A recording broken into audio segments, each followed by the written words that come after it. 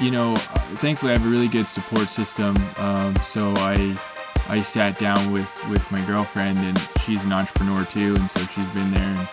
And in that world, for me, like when you have a bad day, talking about it and just getting it off the chest is good, and talking about it, you know, leads into that question of like, okay, so what are you going to do about it? Welcome to Increase the Dosage. This is the show that strips away the facade of fake entrepreneurship. It removes the glamour, comes from the trenches, and provides the naked conversations war stories, lessons learned, and the tools and tricks used by the successful entrepreneurs who overcame their challenges to achieve new growth so that you can too. Now, for your weekly shot of entrepreneurial adrenaline, here is your host, serial entrepreneur and venture catalyst, Chris J. Snook. Welcome, everybody. Chris J. Snook here for the inaugural episode of Increase the Dosage, the official podcast of Startup Drugz and startupdrugz.com. That's with a Z. Welcome to the show. I am excited today to talk with someone I met several years ago who has got one of the coolest companies I think in our ecosystem that I've seen. I hate to say that and, and like naming your favorite child, but I'm I'm super excited about this, and we'll get into some of the reasons why I, I kind of have a special affinity for this brand and this gentleman um, who I met in Colorado several years ago while we were in that ecosystem doing some things. Without further ado, I'm going to welcome RT Custer, who is the founder and CEO of Vortic Watches, to the show. RT, thank you for joining us. Thanks for having me, Chris. So, uh, when did you start this company? I, am trying to remember if you started it the year we met, or what, what, what year did you start Vortic?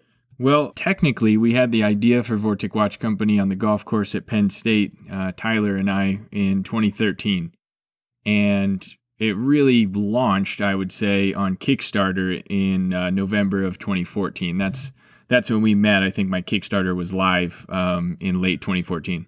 Yeah, I believe at the time we were organizing in the Fort Collins ecosystem. We had started organizing underneath that Launch NoCo banner, and we had a, 1 million cups and some other things. And you guys were one of the presentations. And I have a weird memory that remembers numbers really well. I don't remember a lot of other things, but I, I believe at the time you had done – you know ten thousand dollars worth of sales as a goal in the Kickstarter, but you were already well over forty or something like that, and and so we kind of had you come tell that story because people were hey interested in how you did so well on Kickstarter because a lot of people weren't doing well on Kickstarter at that time. But yeah, so tell us a little bit about Vortic. One of, one of the things I'll say, just because it's my favorite piece of how you position this thing, was you got in the watch business at a time where digital is all the rage, and certainly today is uh, even more so. Um, and you got in the watch business, and you were, I'll let you kind of explain what the vision was and everything else. But the thing that you said that immediately hooked me was we don't sell timepieces, we sell conversation pieces. And and the minute I heard that, I was like, tell me more. So what is Vortic watches? And and you know, contextualize this for us too, because you said you started this with a buddy at Penn State, Tyler, who who I also know. But was this when you first became an entrepreneur, or was there some other like when did you realize, you know, if even if you didn't call it that, that you were an entrepreneur or wanted to be one?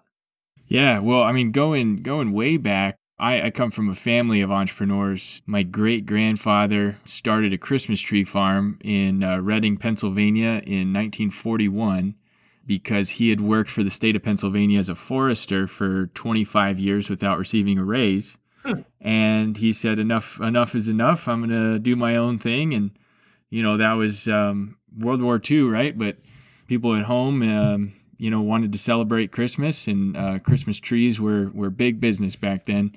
And so, and he he had a uh, a high level degree in, in forestry, and, and his son, my, my grandfather, uh, went to Duke and got a doctorate in forestry.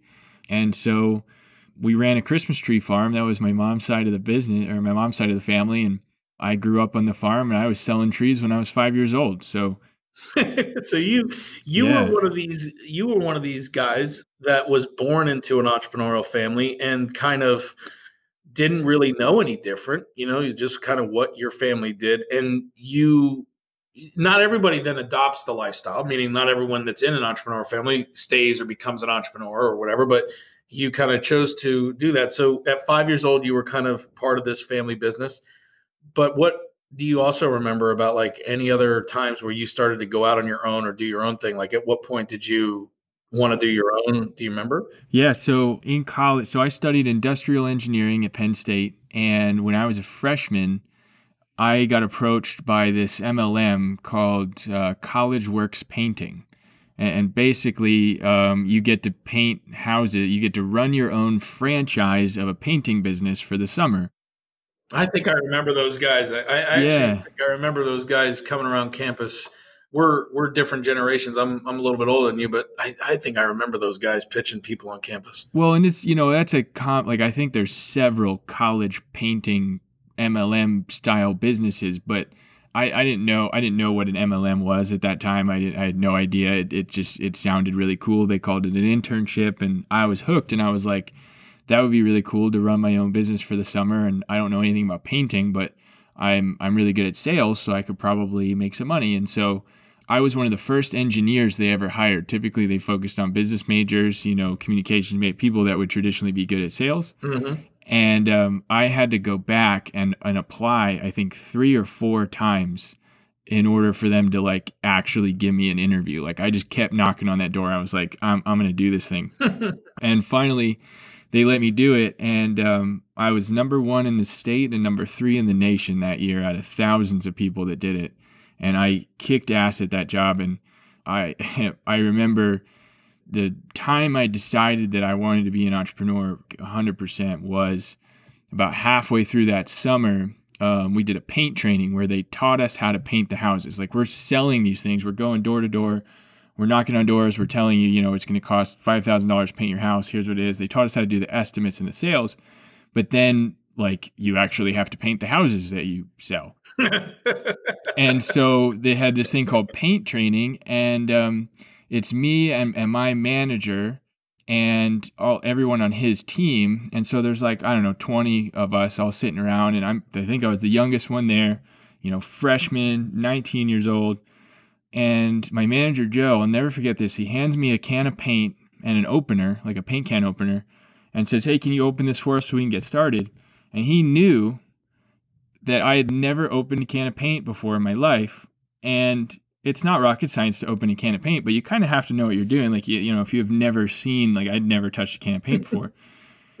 and they're all like, everyone's laughing at me because I can't open this can of paint. And I'm like, so embarrassed. I'm like, you know, uh, you know, this engineer thinks he's smart, you know. And Joe, my manager, says to all of them, he says, You guys think this is funny, but this kid who can't open a can of paint is currently kicking all of your asses in sales. He's never touched a pan, can of paint in his life, and he's sold three times as many paint jobs as all of you combined. So let this be a lesson that all it takes is a lot of hustle. And when I got over the embarrassment of that and realized the lesson that he was teaching them and me at the same time, I was like, holy crap, this could be really cool. And then I went on to uh, do really well at the production side of things too, because that also like he was brilliant because that also inspired me to become a student and actually learn how to paint and because I was like shit I really needed to learn how to do this.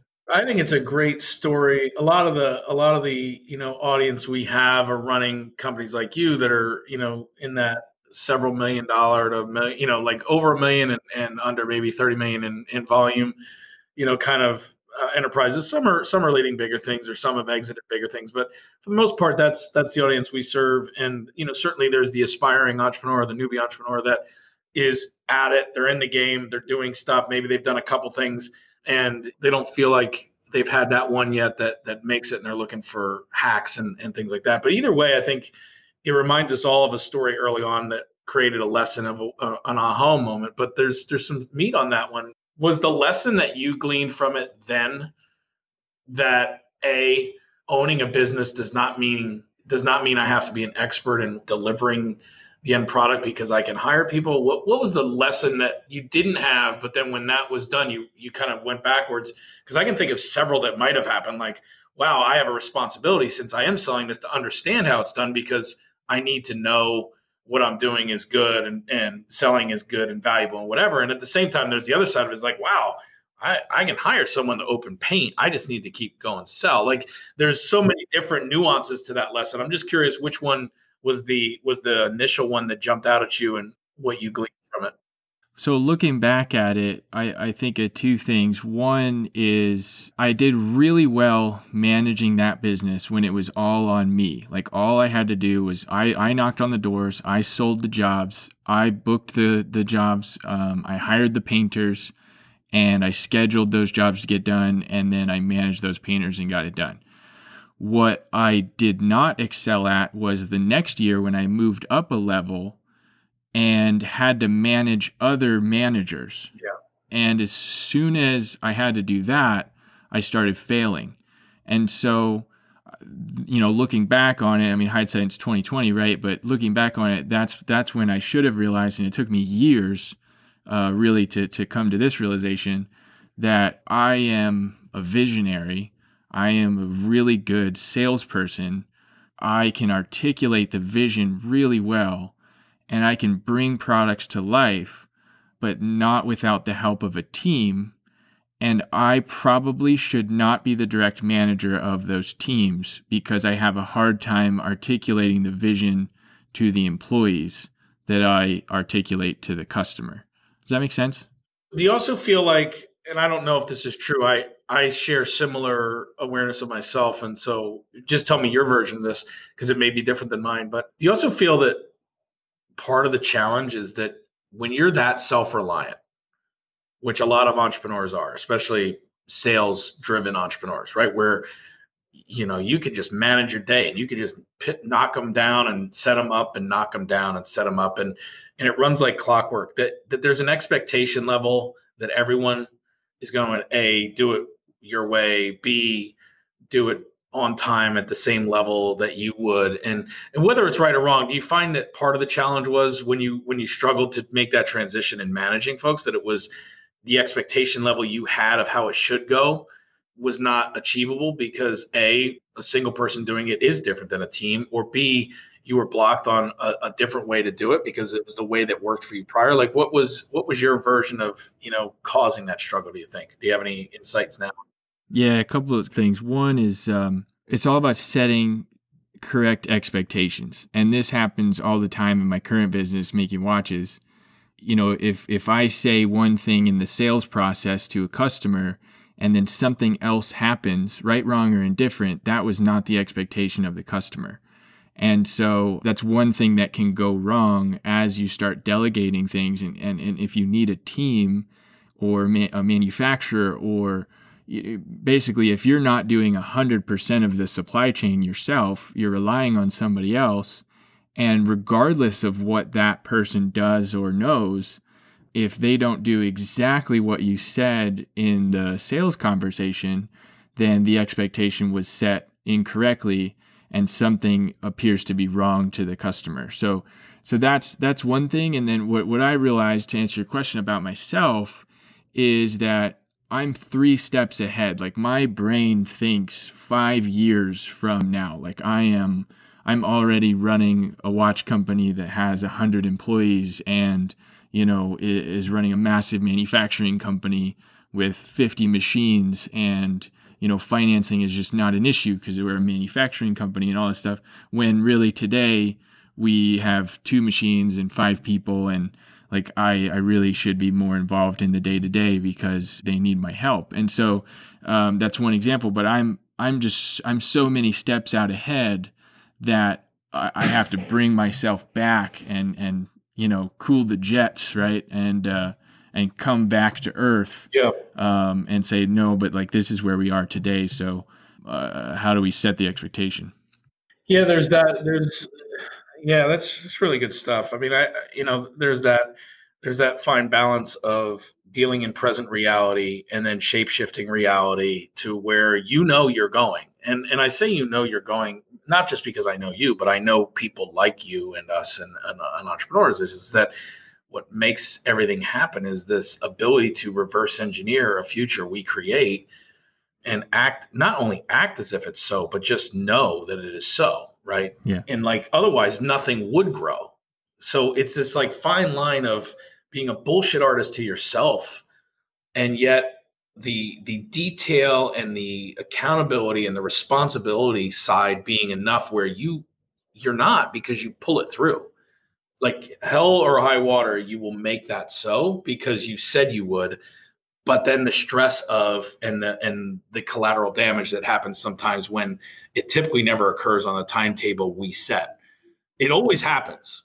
Right? What I've learned about entrepreneurs is it always one way or the other, they always get where they're going to go. It just never goes the way they say. And then the more mature we get, the more we hedge, but it still doesn't even go the way we hedge, right? Because there's this fine balance. Um, so, you know, that's it's really cool that you had that insight in your what what were you like 20, 21 when that was 19 at best. and to be fair, I did not have that realization at that time. You know, at the time Oh, sure, yeah. No, you said it was several years, right? It was several years of grinding.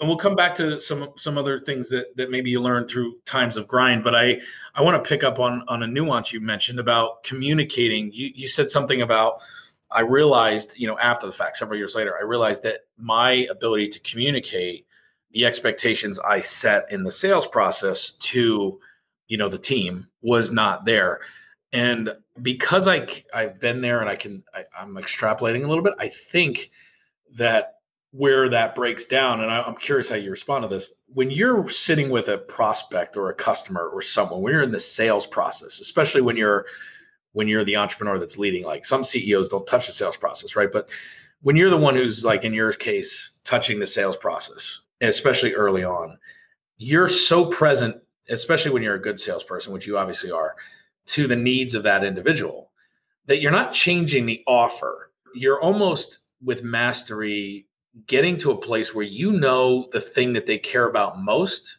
and so your brain and your body and your voice just highlights that. Meaning like they say something and whatever it is i'm going to try and you know use the watch example because i'm trying to think of like they think it's something about the certainty that their piece that they mailed in to you is going to not get lost in in between transit because it's a you know legacy piece or some heirloom that they want refurbished.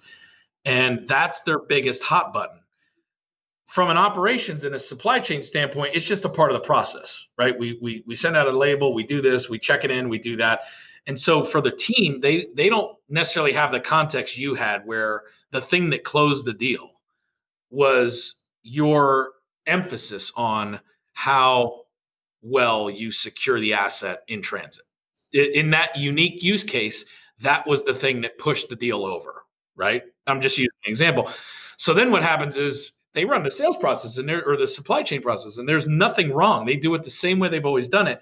But that customer had an expectation that their hand was going to get held because RT or whomever knew in, intuitively that that was the thing that they needed to, to be certain and it breaks down because one less email than they expected goes out or they don't hear from you for 2 days and they're stressed right and and so is it is it that when you mean communication is it being able to to articulate the nuance at scale of why someone chose to buy and then have that you know processed in? What what is it that that fails in the communication do you think? Or what did in the paint business?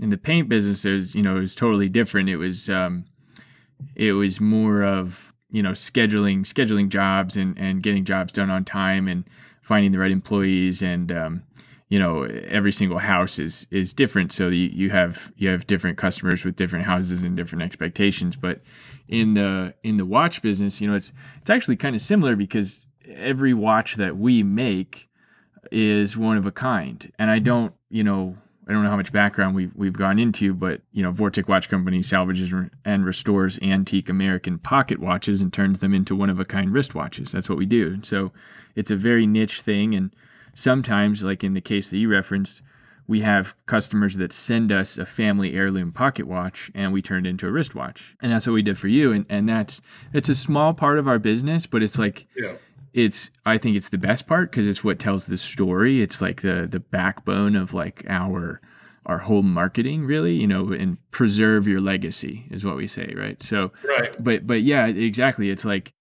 it doesn't matter if you sent us a pocket watch or we're using one that we that we did when you place the order the customer has some sort of expectation on something right so on our website it used to say custom orders take uh, six to eight weeks. And so, and, and you'll receive periodic updates throughout. the word periodic can mean a lot of things to a lot of people. And so some customers expect like the Domino's pizza delivery tracker on like your pizza is currently in the oven and then it got picked up. Right. Like we don't we don't have the the bandwidth. Pepperonis are now right. on. Yeah. So we you know we're we're a very small team. So we don't have the bandwidth to send every single customer an email anytime something little changes with their order but but again that's something that's taken us years to like recognize for for years and and it still happens today you know we get a customer that's frustrated and they send us an email just checking in and we get frustrated too because it's like well why why did you feel the need to check in? Like it's it's fine like you said it's fine. It's part of our normal supply chain. Everything's great. It's just you know it, your your particular order is going to take probably 8 to 10 weeks instead of 6 to 8 weeks. But you know if that wasn't their expectation going in then you know either the expectation needs to be reset or uh, we we failed initially um, by by creating that expectation. So anyway, recently what we did, and if you look at our watch builder today, it says most custom orders take about a month to process. But in some cases, it can take several months to make a perfect wristwatch out of a hundred year old pocket watch. And what that's telling you is you know for the for the analytical you're not going to have this on friday is yeah so for the for the really analytical person like me you know they read into that and they're like okay that's one to three months roughly on how long it's going to take. Yeah. For some people they read that and they say cool i'm getting a service that no one else in the world provides and i'm just going to let these guys do their job because sometimes it takes a while and that's fine. Now to layer that on once you place your order, you get an email with a link to our process page. And that process page takes you through step by step. Here's what we do. You know, here's what we do first, here's what we do next. And it tells you a, a time window. Like each step takes, you know, this one takes two to four weeks. This one takes, you know, two to three weeks. And and so, you know, that way you can be educated through the process. And then it also says once the watch is restored, once the pocket watch is restored, and our wristwatch is assembled, um, before we start our quality assurance process, you'll receive an email with pictures. And that's usually the one update that we send. All that to say, I used to say you'll get periodic updates kind of when we can, but when we can doesn't really happen if you scale a business to like now we make, you know, we're, we're going to make probably 500 watches this year. So if I try to send an email to every single customer every two weeks, I would have to hire another person just to send emails and that's that's not a good job and that's not that's a disservice to the customer to even set that expectation. So yeah. It's it's it's fascinating like that that whole communication side the root of it is setting the right expectation but at the same time it, it tears me apart because if I could do it all if I could clone myself I would send the customers an update every seven days. You know, uh, maybe yeah, more than that. That's a that's another nuance. I think that there's some good gold in here. I mean, what you, what I think I hear you saying is that what you'd want to do is you would want to do the unscalable thing, which is yeah. communicate all the time with every one of your customers, um, because that's that's how you would like it. But what works for the business and the customer, but it it's what's working for the business is to not do that because there's not enough margin, there's not enough bandwidth, there's not enough need even necessarily to do that thing. So you can differentiate on customer experience, but one way you're choosing not to differentiate on customer experience is send as many emails as you would like if it was just you and uh, and a bunch of people and you were making watches on the side, right? Yeah. This is a company that needs to scale. This is a business and a brand that is scaling, and so there's things that can't be done even though you personally would like to do them and you could because you're superman. Well and the and the kicker chris is is um is how you handle those situations and that's where i think i've grown and and everybody on the team has grown is you know if uh, i don't know a year ago when we got an email from a customer asking you know hey uh, how's it going? or, or just checking in you know it's been a little while we would get frustrated. We would be like, you know, oh man, like this person needs another update, you know, and and and that's not fair. Like they they paid us money up front, and we're doing a job. Like you know, it it there there's nothing frustrating about that at all. so we we tried to flip the mindset of that to say, you know what, when this customer paid for this job to get done, they paid, you know, our average purchase probably two thousand dollars, so they paid us two thousand dollars, and um, you know we're making them a custom watch. So when they call or they send an email, I'm going to smile, I'm going to answer the phone, and and I'm going to educate, and that's that's the kicker, is you know let me take just an extra five minutes to tell this customer exactly what's going on, exactly what step their uh, you know watch is in, and what's going to happen next, and really like happily share with them all the good, cool stuff that we do every day. And and that's the game changer for us. And that's what I when I when we started realizing that, it was like, you know, the customer that was a little frustrated because they just hasn't heard anything from us they would they would listen to that and they'd be like oh man like i didn't realize you did all that stuff that is so cool and and it flipped and then they went from a little frustrated to like thanking us for our time and like uh, you know apologizing for even calling you know what i mean because they're like holy crap you guys are so busy and and that's the difference is just taking that compassionate approach of like, you know what, we might not have set your expectation correctly in the beginning, and we're really sorry about that. Here is what's happening right now. Here's what's going on, and everything is great. And and doing that education makes a huge difference. Yeah, no. So and and again, it ties into the experience that you're selling and kind of even the product that you're selling, uh, which is you know very personal, right? Something that someone's going to adorn themselves with on the watch that's got this legacy history, whether it was an heirloom or whether it was one of the ones that you've found on the market and, and that you're refurbishing, because that's a core part of your business is this refurbishing of 90 and 100 year old timepieces that are American made with American made products and then creating a one of a kind, you know, wristwatch out of it that, you know, not only looks sick, but that is truly something that doesn't exist anywhere else, right? And doing that at a, at a price point that is, you know, extremely, uh, in my opinion, from a from a value standpoint, extremely reasonable, and yet not, you know, a high volume wristwatch, you know, that you you can just go buy and and forget about. So we've talked a lot about the highs. We've talked, you know, some really cool nuggets here about ways that you've you know processed in some of these insights into Vortic.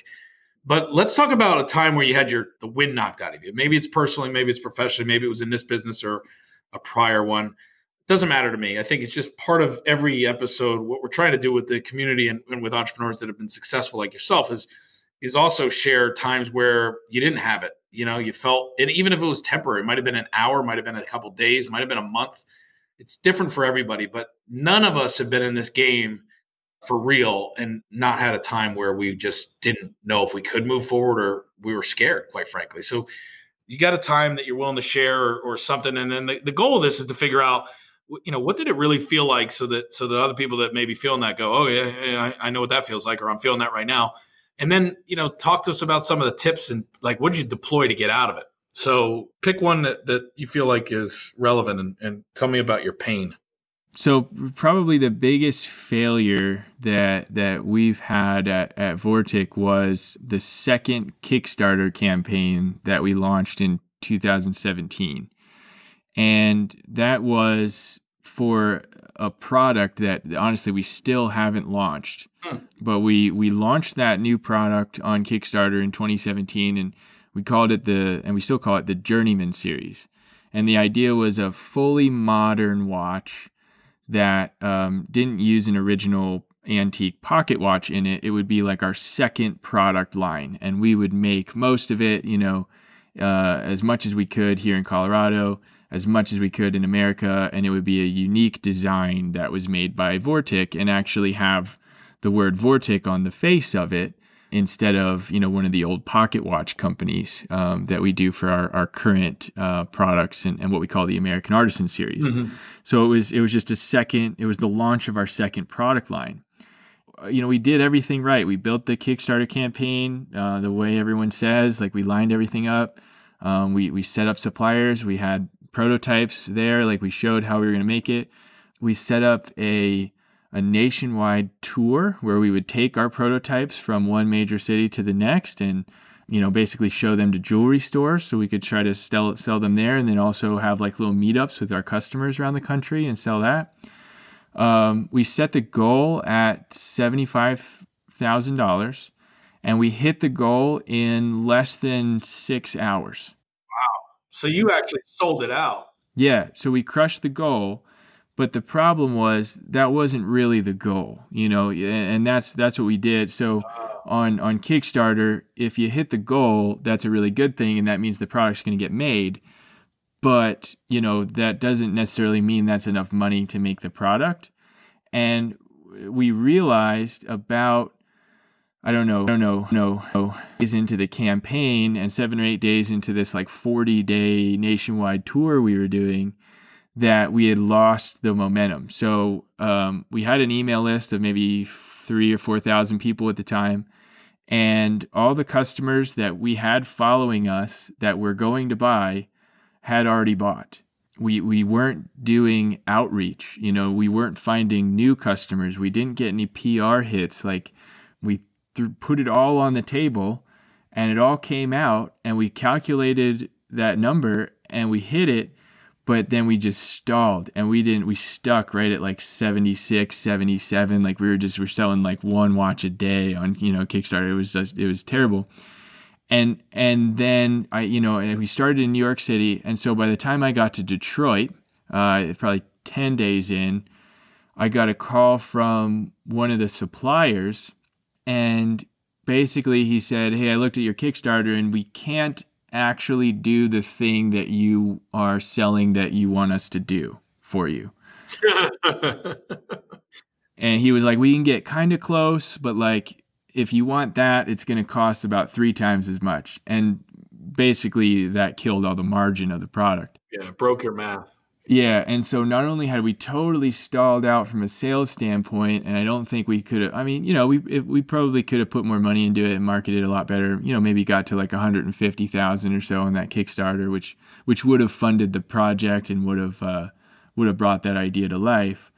But the idea we were trying to make wasn't possible anymore, and so the rug just got pulled out from under me right as I was dealing with the emotions of like you know, wow, my my whole audience was tapped out in two days. Like, what do I do? Um, and so, you know, I think I was sitting. I don't know if I think I might have got to Chicago by that point, and I was just sitting, and I was like, you know what, we we have to cancel the campaign. We have to give all this money back to all these backers and basically give up on this idea because it's just it's one it's not possible and two I don't think we're going to sell much more of these things and it just it won't we won't make any money off this. And so yeah, we canceled the the second Kickstarter campaign about I don't know 2 weeks in. Uh, returned all the money, you know, we, we didn't owe anyone anything over it. It was it was just a bummer really. And and drove back to Colorado and and said, "Okay, now, you know, what do we do?" And and um and what we did, I mean, it, I, I kind of took took a week to really think on it, right? But what we did was we decided to take all the R&D and all the thought and time and effort and engineering we had put into that new product and pour that into the existing product and make the existing product better. And it took us a few months, but then we came out with what we call version 2 of our American Artisan series, which is what we still sell today. And that took off. And um, we almost doubled the business that year, even with losing. I mean, we probably lost a hundred grand on just wasted marketing money that summer, um, but we still doubled the business. Yeah, I was going to ask. So, that, so there was a real hard cost. I mean, and, and again, for a young company, I mean, you guys bootstrap this thing. So, you know, I mean, for a young company, a hundred thousand dollar loss, no matter how you yeah come out of it, still hurts. And and you know, and again, it's it's the it's a really interesting story because in one way you were successful and yet your success exposed your weakness. Yeah. Right. Like you're, which in hindsight, I'm sure now you're grateful that in two days you knew you had to fix some stuff, right? Because sometimes failing slow is the worst. Yeah. Right. Like, oh, yeah. you know, and it's not that whole fail fast thing. It's the fact that sometimes you don't have control over it. Sometimes the market doesn't speak right away and you're kind of in that maybe land and you don't know what you knew is you knew people wanted it, and then within two days you knew you couldn't build it, and you had a you had a disappointment, but you had recourse. You could give everybody their money back, and you know they got their money back. So Kickstarter, fortunately, was a platform where most people didn't see the projects complete, and so that so you kind of failed in an environment that the expectation didn't ruin the brand, right? But it, it took a lot of wind out of you because you you know in order to launch a product, you got to conceive it. You put all your you know it's like these it's like children, right? You know you had the emotional letdown of wow that didn't go the way we wanted it. What did you do that week when you were contemplating what to do next and you were dealing with the raw emotion of disappointment and frustration? I'm sure you you know had a little anger in there at, at the supply chain guy at whatever it was yourself.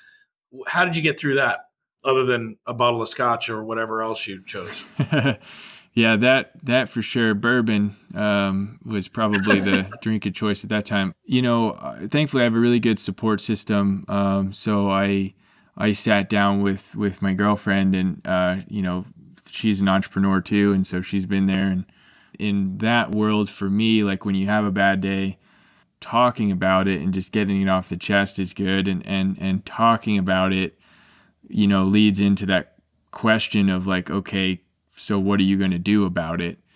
And uh, that question for me always leads to a whiteboard, and and so I just start I start putting the goals and the dreams and the and the long-term vision on the whiteboard and saying like okay maybe this idea didn't work but what idea could work and what can I put this energy and, and knowledge into now that could uh, turn things around emotionally and financially and, and that's that's how we came up with the idea of, of version two of our of our current product um, and and just you know, using that as an opportunity to, to pivot the company as, as it were and just say, you know what, we're going to do things differently now. And, um, and, and, and we're going to be a better company because of this. And, um, you know, thankfully that, that worked out really well for us. Um, and I think it's going to end up being a happy story because we, we will in fact launch that product that when we tried to, um, it's called the Journeyman series. We're going to launch that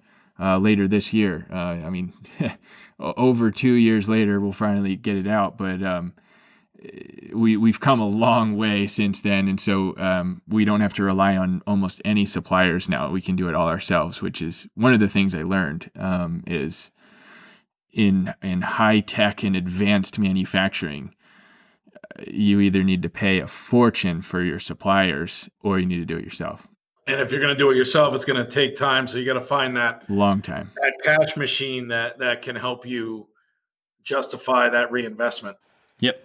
Yeah. Exactly. Yeah. Well, that's a great. That's this this has been loaded with some good stuff. So uh, you started to transition into what I would call finding the calm and some of the things I know. Congratulations! I know you you recently added to the family in the last couple weeks with with a new little one and and you know sometimes that's a source of calm for people um, that are entrepreneurs sometimes it's a source of stress sometimes it's both um, but like what are some of the things that rt does uh, I, you know everybody's got their thing right but like that that aren't related to business or maybe they are but that help you find that creative space. You mentioned whiteboards which i think is good you know but that's still very strategically tactical to your specific business. When you're really like stuck or when you're really just over it or when you just need to find your confidence or your you know that that again which probably doesn't happen too often but when it does happen it can be pretty troubling. What is it that you do uh, what are what are things that you've picked up over the years that other people you know could learn from? So for me i get re-energized by hearing about other people's businesses and especially by helping other people uh, with helping other entrepreneurs specifically. That's why I, I, think I get along so well with with my girlfriend. Um, and we yeah we have we have a two week old and a two year old now. And that's great. Family's awesome. But she and i hold the kids and write stuff on whiteboards you know and talk talk business. Like yeah. we're you know our foreplay is is talking about making money. You know what i mean? It's right. that's just that's yeah. who we are as a couple and it works really well for us. And that's probably weird for a lot of people but that's just who we are. But you know for me not on this uh, for for me it's um uh, she and i are part of a couple mastermind groups you know where we get together once a month and and share experiences with other people and and from that Um, we've started to advise some some other small business owners, and um, I, actually invested in in a, another small business here in, in Colorado that is going to end up making more money than any business I've ever run myself. But um, it's all because you know we I have these experiences and I can share them and it's something that someone else has never done or thought about and they're like, "Man, why didn't I think about that?" And it's you know, you you get you get in that tunnel vision, you get in that silo and it's hard to it's hard to get your mind out of it. So for me, I relax and I unwind and I relieve my brain from my own business by talking about or learning about other people's businesses. Um, and sometimes that's listening to how I built this, you know, the NPR podcast. Mm-hmm. Sometimes mm-hmm. that's uh, sitting in a mastermind group with some of my friends of other entrepreneurs. And sometimes that's basically like, you know, doing this kind of thing and, and talking to another entrepreneur, you know, on a podcast, you know, and, and just saying, just, just hearing that someone else is out there and they've done it. And, um, and especially when I can just drop one little piece of advice or nugget or something and that and I see the light bulb and I see that help them, then I'm like, man, I just I just helped somebody. I, I might have just changed somebody's life. That gives me the the motivation to go back into my own business and and, and keep going. So that's what I do. Yeah, I you know we've had several conversations over the years, but I've I've never actually asked you that or heard that uh, from you before, but I wonder if that's not why I was immediately attracted to you. I think you know I share a similar kind of DNA as the disease is is also the cure for me. Yeah. Right. Um, the disease of not ever being able to not break down a business model. I like I can't go to restaurants without wondering how they cover the overhead. I can't like it's a disease, right? Like it's yeah. a disease of the brain and yet at the same time it is where i can re-energize or find my own sense of calm when i'm stuck when i can't think through our portfolio or our business in a way that's productive. It's like first thing i want to do is call you up or call someone up who i haven't talked to in a while and say hey man tell me about your business. Like how's it growing? How's it what, what's going on? What, what do you need? What's the problem? And that's part of why even increase the dosage exists quite candidly is this is my this is my cure of meeting and, and hearing great stories from you, re, repackaging them for lessons that can be widely available to the broader community, and and keep my own brain sharp. So um, so we have that similar uh, DNA. We'll we'll finish up with this. So for those of you who do not know and have not already been googling them while you've been listening to this, RT Custer will tell you where you can find them online. But the the company uh, Vortic Watches, V O R T I C watches.com is where you can go check out his wares. I, um, you know, I I immediately bonded with you, and, and I was that customer that cared more about the transit experience than anything else because uh, I didn't come from an entrepreneurial family like you did, but I did have this legacy of hard work and character and these things that mattered and that kind of set me up for success, I guess, DNA wise as an entrepreneur, even though I didn't know that's what I was going to be, um, like you did and my grandfather had an Elgin watch, which is one of the three kind of American artisan series that you guys started with, and and I didn't know it was. He had just given it to me. Uh, my dad had given it to me actually as a wedding gift, and so we've repurposed that now into this gorgeous Vortic timepiece. It's one of a kind, and it is a priceless asset to me. And and you know, you guys um, do that on a on a custom basis, but you also have these uh, amazing watches that come from all over the place that are being refurbished and and turned into really gorgeous one of a kind conversation pieces that that uh, everywhere I've worn that someone goes, "Oh, that's a nice watch," and as soon as they don't re- they realize it's not a Patek or not a Rolex or something that they've heard of before, it, it becomes a conversation. And you know, for entrepreneurs, conversations usually lead to sales. Yeah. so so if nothing else, get yourself a Vortic watch so you can sell more of whatever it is you sell. Uh, that's my pitch for you. But how can we help you increase the dosage? What um, close us out with thirty or sixty seconds on, you know, you've served our community uh, and been generous with your time and knowledge and wisdom. What is it that you are looking for uh, at Vortic? What do you need?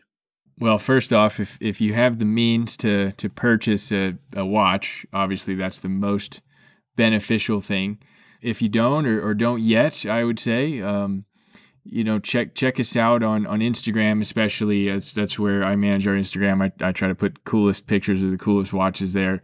And everyone knows someone that likes watches. So share Vortic watches on Instagram or our website with the person in your life that likes watches and um, and get the word out. I think that's really Chris the the biggest thing for me that I firmly believe that we can be successful and continue to grow exponentially because I still think even years in most people in the world do not know I exist. So, um, for every customer that says, Hey, have you seen this watch company? They take old pocket watches, turn them into wristwatches.